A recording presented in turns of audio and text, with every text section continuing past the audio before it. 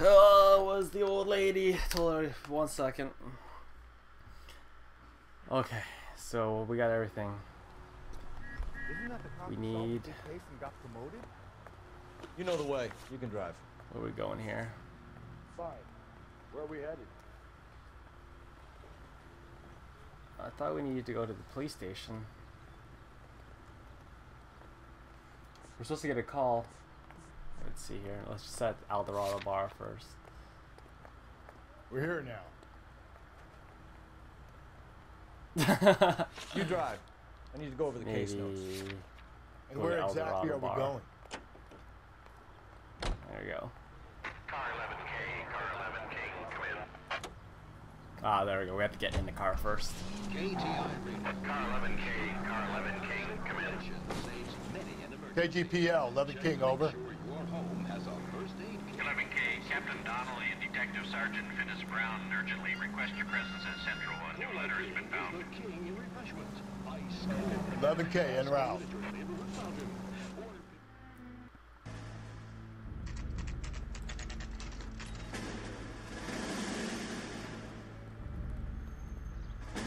The captain is waiting for you downstairs with Pinker. Alright, so we have to make our way downstairs. They got a letter that we have to examine. If I can remember how to get downstairs. Oh, there you go. swipe at me. Put him down with my saddle. See uh, him? Walk a little faster now. Let's go. He worked that case with the lady. Into this room right here. Boys, come on in. Phelps, have you met Finis Brown? Pleased to meet you, sir. This information is confidential and doesn't leave this room. The new letter was left in the back seat of the cab. The driver thinks it was put through the window and not left by a customer. We're checking all the spares back 24 hours regardless. Good. Like the previous letters, it's been assembled from headlines and typed from the Times and Examiner, then glued to an envelope. What is the other note? This one? That's also new. A poem, hand typed. Do you mind if I take a look? Go ahead. We've been over both documents pretty carefully. They've been wiped with gasoline, so there's no chance of prints. Take this one. That's the message from the Celine Henry case.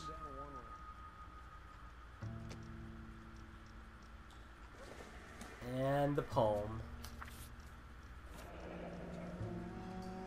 Heap upon thy soul by virtue of this curse. That's why we called you in. You think it's original? Not unless he's a genius. You like this nut job's poem? No, I like Shelley. It was written at least 100 years ago. Shelley. Sure, I knew that. You see, Finis? I told you this lad was a bright boy. Sure, but what has it got to do with the case? Prometheus Unbound. Prometheus was a titan, a superhuman character who defied the gods to bring fire to humanity. The Dahlia guy believes he's Superman. Your guess is as good as mine. One thing for sure is that he's educated.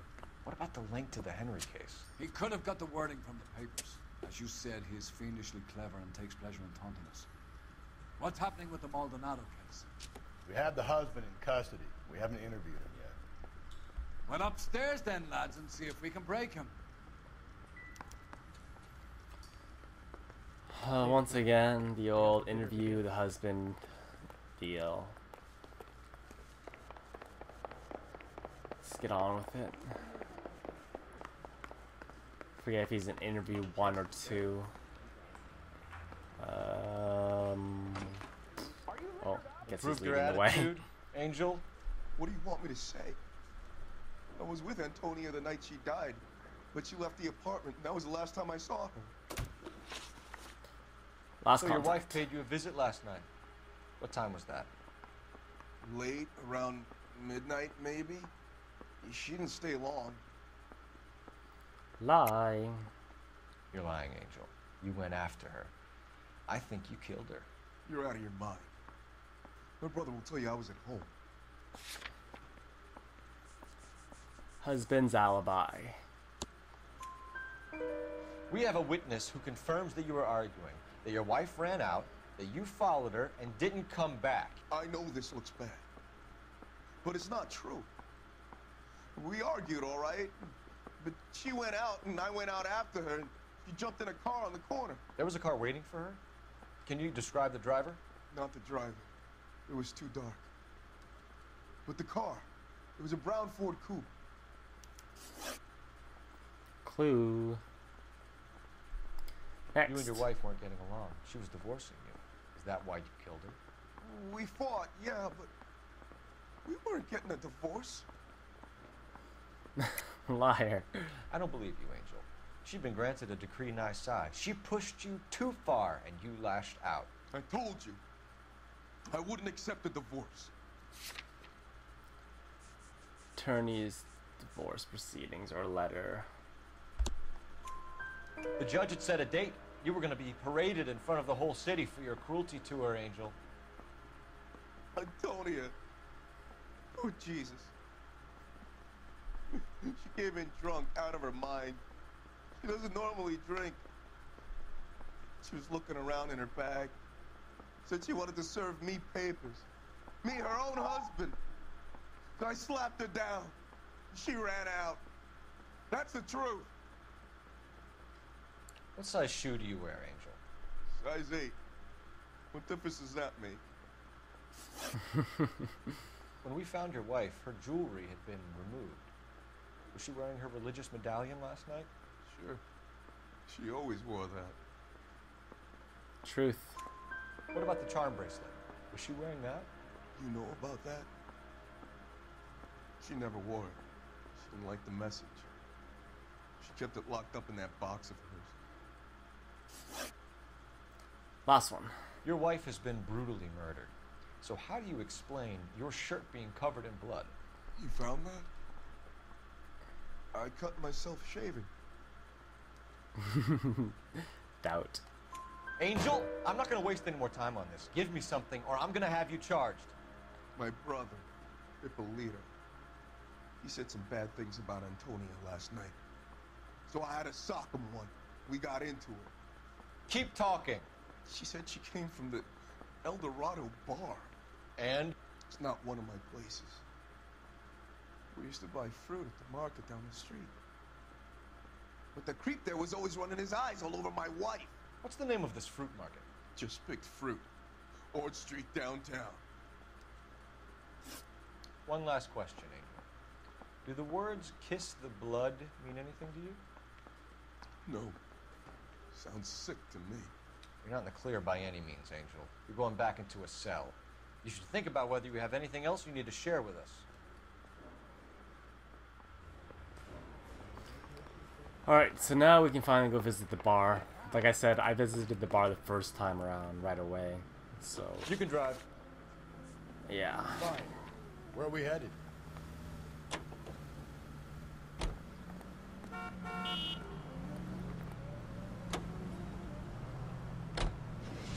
Don't think it's strange that all these murders are happening to girls who've been out drinking? No, no. A broad drinks, she gets a bit tight, she starts mouthing off. This leads to that, and she ends up in an alleyway. Sad story, but this town's seen it play out a thousand times, Why don't you want to see a connection here? Because there are perfectly good real-life suspects for every one of these murders. We don't need to go looking for the monster under the bed. The same toothpaste you used two years ago. You're missing.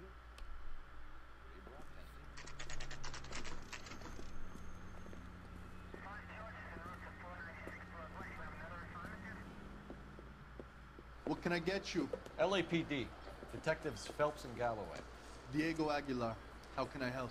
You worked the bar last night? Yeah, me and a temp guy from the agency. Did you have a woman in here last night? 21 years old, Hispanic, drinking heavily? We have a lot of ladies like that in here. But yeah, I know who you mean. Antonia Maldonado. What did she do? She was murdered last night. Oh, shit. Do you know her well? Was she a regular?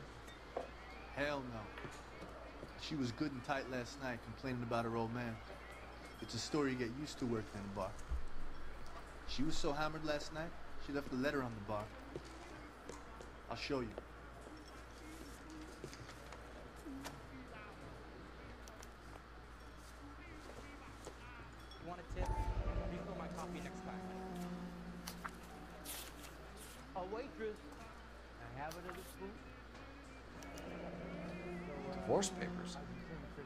open them?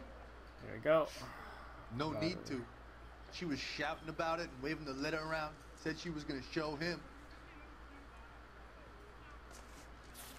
Where's that goddamn? Nice. Missing jewelry. Can you remember what jewelry she was wearing? She had a necklace. Some kind of religious thing, I think. The temp guy would have more of an idea. She took the beer he served her and cried into it all night. What time did she leave? Can't say for sure. Stout. Go confuse you. Where did she go? Give me something or the LAPD will start getting interested in this place. Take it easy. She wanted a cab, okay? And my phone was out of order. The closest one I knew was at the fruit market across the street, so I suggested she try there. She seemed reluctant.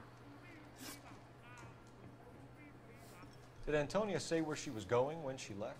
She said she was gonna serve the papers on the husband. Said that would take the smile off his face. If you ask me, she was scared. And the drink was for Dutch courage. Dutch courage. That's truth. She attract any interest?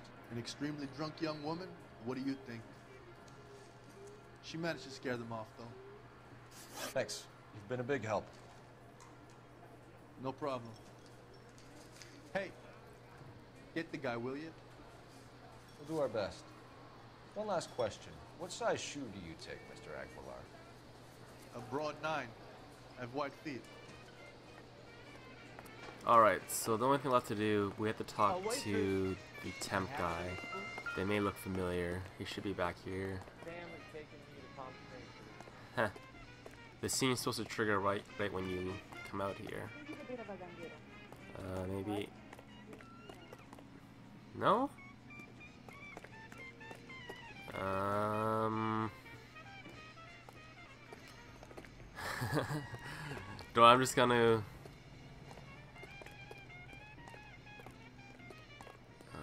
Because this is this truck right here.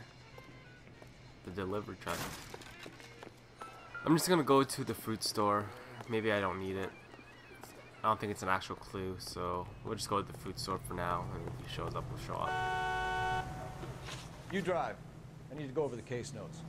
And where exactly are we going? By Miss Evelyn Knight. Another letter? I thought the letter was from a nut. These letters, Brown and Hansen believe they are genuine. From him. Now we sent another. You know, I really hate this fuck. This Black Dahlia guy. You seen the body? Fucking cased his nozzle way to the guts. Hollywood. Every prom queen from every fucking hick town in America turns up here. Where do they end up? Gutted on the fucking sidewalk.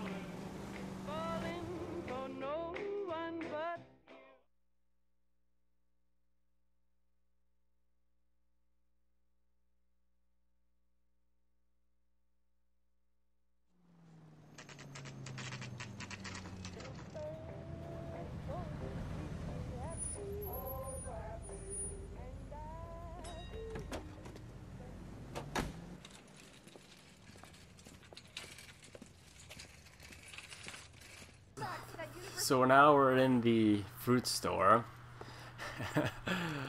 Got some nice specimens right here, as you can see. Always eat your fruits and vegetables, kids, 'cause it makes you grow up big and strong. And there's not any clues up right away, so we just have to go straight to the interview process for this bro right here. LAPD, Detective Phelps and Galloway. Clem Feeney, what can I do for you? Did you happen to see a young woman last night? 21 years old, Hispanic? Sure, she came by last night. Why do you ask? Did you kill her? Necklace. She was wearing a necklace? I didn't notice. You weren't paying attention, Feeney? Hey, you're getting the wrong idea. Doubt. Exactly how much fruit do you sell here after midnight, Clem? Uh, look, not much. I sell the odd bottle on the side to the after hours crowd. But I don't want any trouble. I'm just trying to make a buck. Contact with victim. The young lady Arrived around midnight? Yeah, something like that. Used the phone for a cab and then left. Doubt. You already knew Mrs. Maldonado, didn't you, Clem? Sure, I met her before. Actually seemed like a nice lady. Her husband went apeshit one day when he caught me talking to her. She hadn't been back until last night. Last one.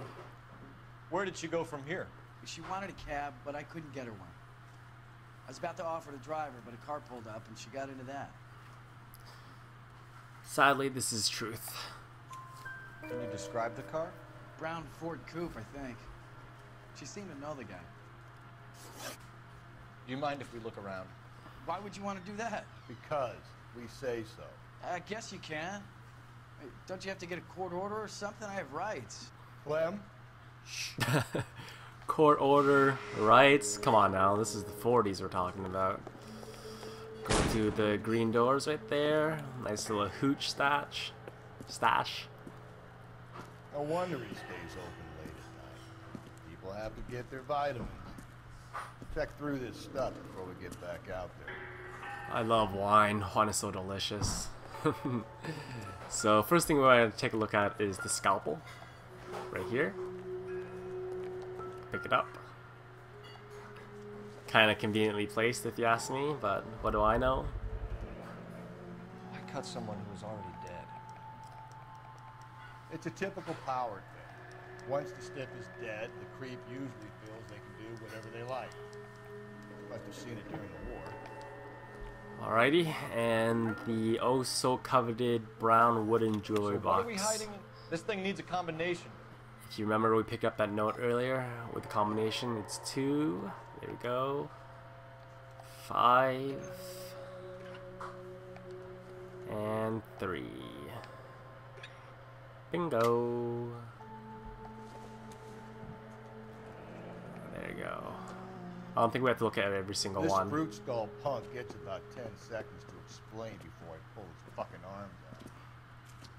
Clem! Well, I didn't see that happening. It's an actual car chase this time. No one burning holes into our shoes.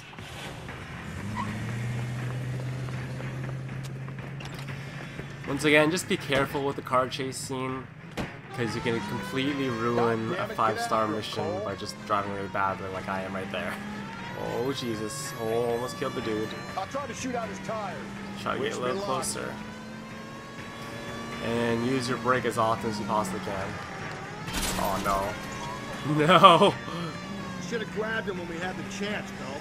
When we had the chance, we didn't know he was our Alright, guy. nice. It's alright so far.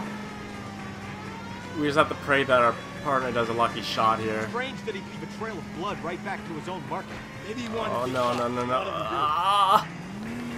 There we go. I'm still with him. I'm still with him. I still got him. I'm Oh, this is gonna go flying! Perfect, isn't it? There's no such thing as too perfect. Uh, power slide, Tokyo Drift style, again, around the corner. Oh, hit the sign. Oh, okay. See if I can catch him right here. Don't go to sleep on me. Get me back in close. Come on, hit him. There we go. Nice shot. Hit him, Cole. Spin him out. Oh, hit him. There you go. That wasn't too bad.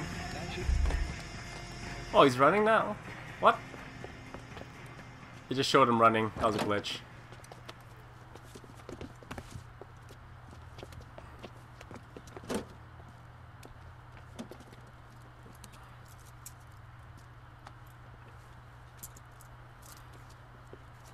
You're a sick man, Clem.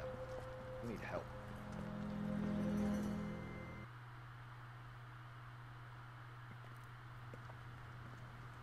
Outstanding job on this case, gentlemen.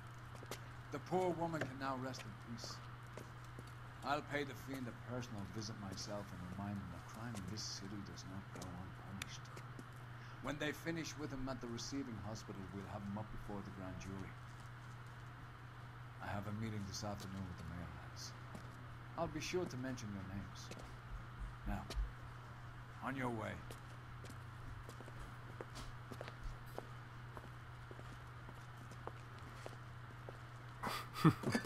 Don't mind me. Box one to myself.